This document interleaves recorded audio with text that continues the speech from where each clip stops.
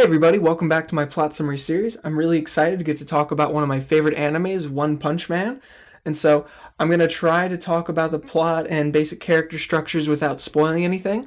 So it won't be a full in depth review, but if there is at one point anyone who wants me to start doing reviews for these shows instead of plot summaries, let me know in the comments section and I will think about changing gears with that. And if you're new to the channel, don't forget to hit that like button and also subscribe to us for more video content. But alright, let's jump right in.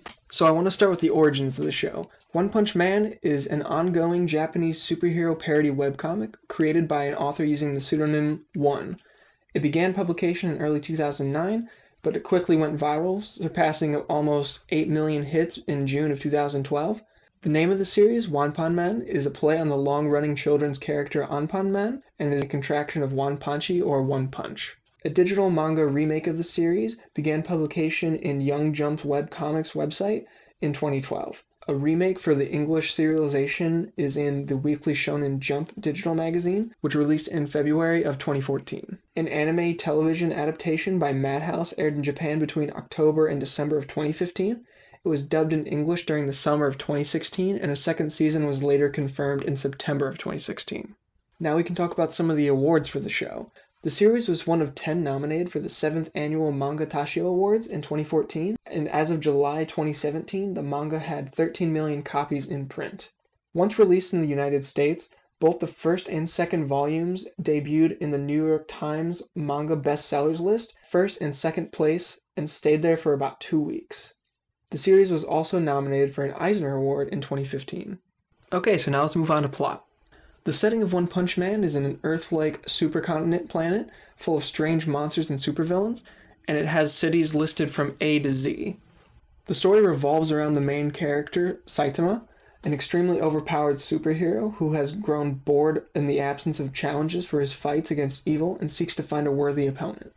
Over the course of the series, One Punch Man encounters several superheroes, supervillains, and monsters, he gains a disciple named Genos and eventually joins this hero association in order to gain official recognition. So now let's start with the characters.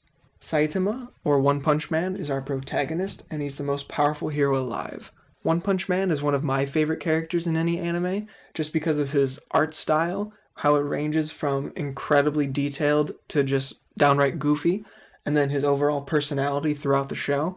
It just makes it really fun to watch throughout his training to become the most powerful warrior, he has kind of dulled all of his other emotions and has become less and less of a normal human being. Because of his strength, even the mightiest of foes pose no threat to him, and so he starts to lose interest in being a superhero and does not take his work seriously, which leads to sort of anticlimactic endings to his fights. The next character that I'd like to talk about is Genos. He's the apprentice of One Punch Man, and he is a cyborg. Genos makes the perfect addition to One Punch Man's team because he is an extremely serious character and acts as the comic foil to One Punch Man's clueless antics. Since becoming his disciple, Genos is incredibly protective of One Punch Man and tries to discover the secrets of his power. Although there are several other characters in the show that I'd like to talk about, Shout out to Mumen Rider, by the way. I don't really want to cover all of them. I want to let the people who want to watch this show discover them on their own. So the next thing and last thing I'm going to cover is the Heroes Association. The Hero Association was founded by a multimillionaire who manages all the city's heroes. He also established the National Hero Registry, which is a database that contains the names of every officially recognized hero. For any people that aren't on this registered database, they're looked at as delusional or weird because they're running around in a costume trying to fight crime, but they're not officially heroes. To join the Hero Association, they have to take a hero entrance exam, and that comprises a fitness test and a written test. Based on how well someone does in the entrance exam, they're placed in a class. It goes from S being the best, then A, B, and C. To move up in class, you have to rank to level 1 in whatever class you're in, and then you can choose whether or not you want to move up. Okay, so that was everything I pretty much wanted to cover for this One Punch Man plot summary.